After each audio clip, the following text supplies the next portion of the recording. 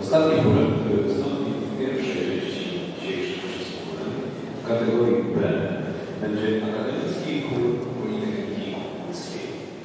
Chór o ponad 70-letniej tradycji, który w składzie występują studenci, doktoranci i pracownicy Politechniki Łódzkiej. Od 2019 roku zespołem dyryguje pan Mariusz Lele.